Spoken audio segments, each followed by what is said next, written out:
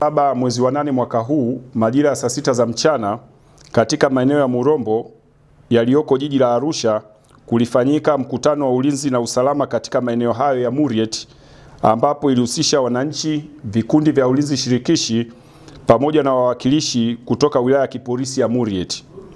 Katika kikao hicho kulijitokeza taarifa za kuwepo mtu mmoja asiyefahamika na kwamba mtu huyo anaingia katika nyumba za wananchi nyakati za usiku.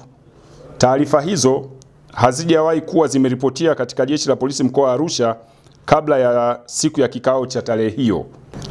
Baada ya kupata taarifa hizi, jeshi la polisi mkoani hapa lilianza uchunguzi wa kina kwa ushirikiano wa wananchi pamoja na timu ya makachero ambapo leo tarehe kumi mwezi wa nane mwaka huu majira ya saa tisa alfajili tulifanikiwa kumkamata mtu mmoja ambaye jina tumelihifadhi huko maeneo ya Murombo akiwa katika mazingira ya kutatanisha.